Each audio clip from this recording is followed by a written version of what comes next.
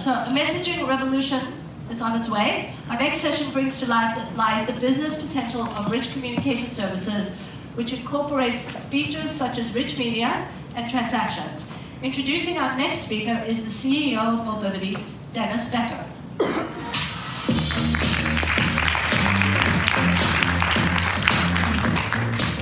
Cheryl, you have Lou, I have Todd. So um, hopefully the, the, clapping is weighted over on that side of the room. Uh, so thank you. Uh, so the, the future of mobile communications and commerce is here. I'm very excited today to share with you the results of a case study that we performed where we leveraged Google's RBM platform to drive rich media mobile promotions to Subway consumers. Now, we've been partnering with Subway over the last couple years to bring point of sale attribution to mobile marketing. And we've perfected one-to-one -one attribution of mobile marketing messages to actual sales transactions across millions of Subway consumers. Now I'm excited to continue our work with Todd and his team at Google to proliferate the adoption of RCS across the United States and beyond. And from the results that you're about to see, I think uh, there's a very bright future for it.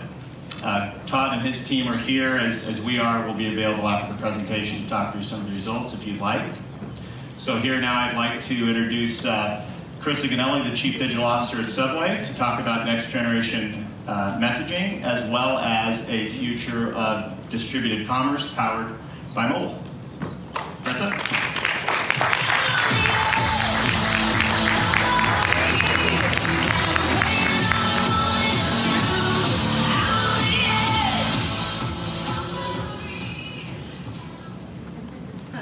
Everybody. So um, I know as you're looking at me, you might go, she looks really familiar, right? I look really familiar. Like it's niggling in the back of your head, like, who does she remind me of? So I'm going to give you a little bit of hint. Right, she's an incredible performer, singer. She's very beautiful, amazingly talented. I know what you're all thinking, right? Beyonce. Yeah, that's exactly it. All the time I got mistaken for Beyonce. So I am so excited to be here today because I cannot actually believe these results. But I'm here in public being recorded, so they must be true.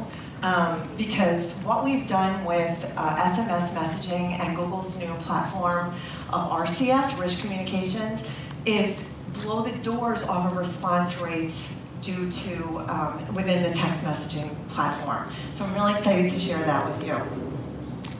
So what, everybody knows what SMS looks like, right? And it's really, really popular in the US and Canada and Western Europe. And as marketers, we value the platform and channel, but we hate what it looks like right? It, I mean, we know, we know that images sell more, drive up conversion rates, um, and you can't do any of that in SMS. So now what we have, thanks to Google RCS, is the ability to actually make the experience richer, hence it's in the name, Rich Communication Service, right? So it is better than SMS. And what you can do with this is actually everything that we've been taught to do within our marketing discipline, but within the mobile channel. So we're not stuck with just plain text. We can actually include images. We can have it be two-way, conversational. It's incredibly, incredibly valuable, right? So it's a trusted message, better metrics and data, richer media. How many of you are like, oh yeah, I have to have an SMS program, but it doesn't really make me excited? Me see. Me see. Well, how many of you are actually marketers in the room? Then all of your hands should go up, right? Because it's just this functional channel. Well, now it's more than a functional channel. Now it's actually something you can get excited about and you can drive incremental business through because that's how our customers want to interact with us. So we did a test, and I know you're not going to believe the results, but one of our tests, which was a price promo, was 140% lift in conversion rate. That's crazy. How much would you spend to get that kind of a lift? So that's what you should tell Todd you're willing to pay to get this, okay? And Dennis. We did another test that was a meal deal offer. So you know a meal deal is a higher price point versus a price promo for a single item. So we got lower conversion rate by the nature of the deal, but it was still 51% higher. That is unbelievable. Yes? Yeah, thank you, David. Yes, I have a couple of plants in the audience. So that's just one of the things that we are doing at Subway for mobile, for digital. It's tremendous results. I wouldn't even say it's the cornerstone. I would say it's the finishing touches on a whole omni-channel strategy. And I really hate the, that word, omni-channel, because I didn't really know what it meant. It's like the IoT, the Internet of Things. I was like, that's a really lazy person who couldn't actually come up with a word and they just called it IoT. So the same thing with omni-channel. It's just everywhere now. It's just a new way to market and a new way to do this. So why are we doing this, um, our RCS program? Why are we working with Mobivity and Google to do this? Well, why do you think? Because customers require it. And within the restaurant space, we can influence the purchase behavior. 63% of people have no idea what they're going to eat for lunch within an hour of lunchtime, and 44% use a mobile device to inform that decision. So if we're not there, we are not in the consideration set. So we have doubled down on mobile, we have doubled down on digital, and the results speak for themselves with 30% more in terms of spend, there are benefits to frequency of purchase, all the way around. It's a win, win, win, okay? But it's not by itself. So I'm going to say something now. I know this is a Mobile Marketing Association summit, and I'm going to say something that might be a little blasphemous, but you can't just think about mobile. And I am the toughest critic in the world. Look at my Twitter handle.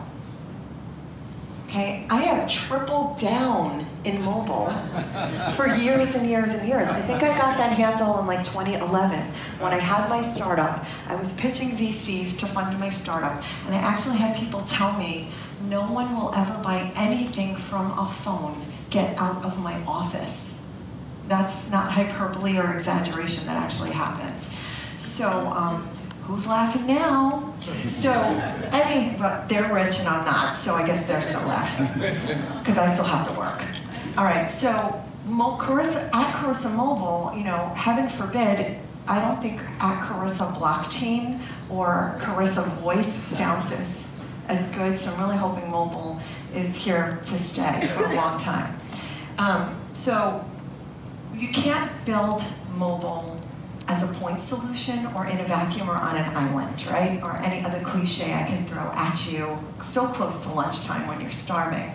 And what I mean by that is consumers expect personalization, they expect, expect more options, customization, they want it when they want it, how they want it, at the price they want to pay, and you can't do that only in mobile. You need all of the underlying systems to deliver that experience. So I totally get that this is the Mobile Marketing Association, but really this should be about omni-channel and all digital because you can't deliver the mobile experience that you want without having all those supporting systems, channels, interfaces, right? So we need the channels, we need the properties. This is just a smattering of it.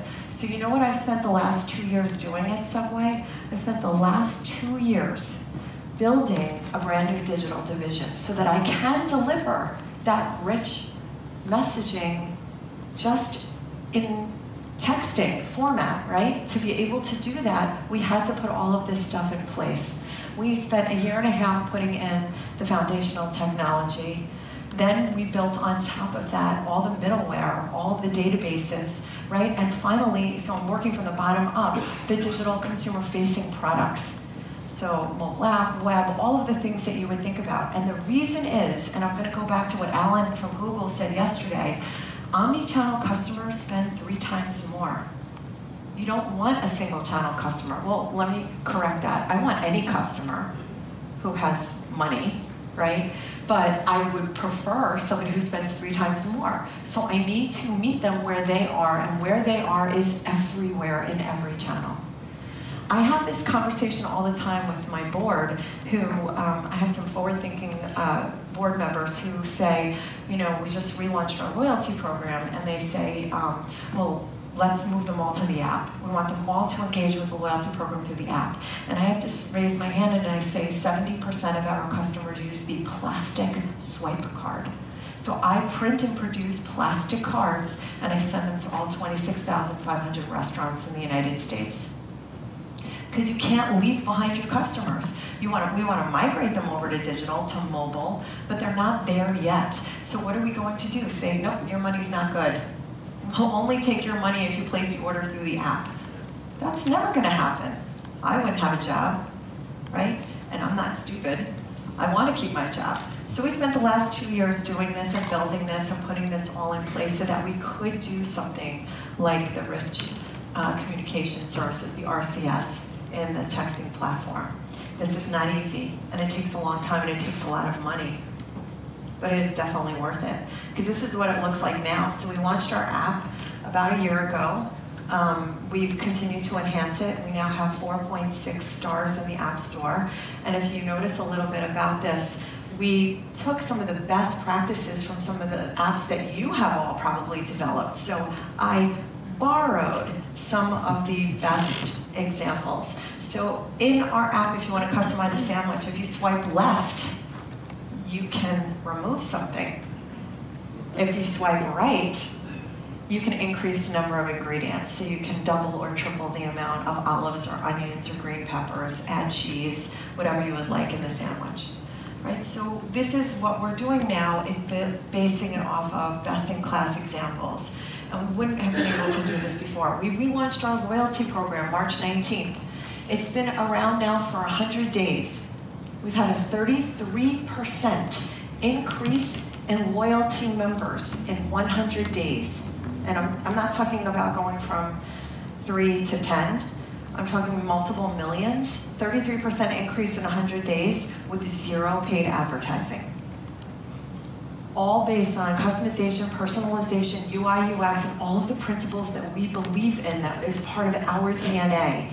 That's what we've done. Now imagine when I start turning on the paid media, what the numbers will do. I'm excited to find out, aren't you? Okay, calm down. Calm down. I can't take it. Hangover from last night. Lower your voices. Okay, so here's what the Subway My Way Rewards program looks like in the app. So we have the um, token counter. You get a token explosion when you hit the 200 tokens and you get a reward put in your wallet. Auto, so we auto issue the rewards. Um, so I think this is pretty exciting um, when you see those tokens falling down. So somebody on my team said that it's like a dopamine rush and it coined the term tokimine. So you get a dopamine rush when you get the tokens. You get it Subway tokens, yes? All right, now you're waking up. I know you're just starving, you want lunch. All right, so um, we, as I mentioned, we auto issue the rewards. What could we do with RCS? we could actually notify people within their text messaging platform that they have a reward waiting for them when they go back into their account or place an order. We could apply the, the eventually, Dennis, take, take a note, we could apply the, the reward to their purchase when they purchase through the RCS platform. Okay, so we support the loyalty program in the website and of course the subway card. The plastic cards, I can't move away. 70% of my people, of my customers engage using old school plastic cards. All right, so here's what the experience looks like in the app. I know you're all gonna get really excited. Calm down. I know, look, it's amazing. Look, thank you, thank you. Yeah, look at, did you all get excited right there when you Very, saw this? Thank you. Very. Yes, so excited. you see it again? You can download the app, make a purchase, and you can see it for yourself. Was that good? I didn't even practice that. Okay, I'm used to hecklers. All right, Lady Gaga is definitely used to hecklers. You're all my little monsters.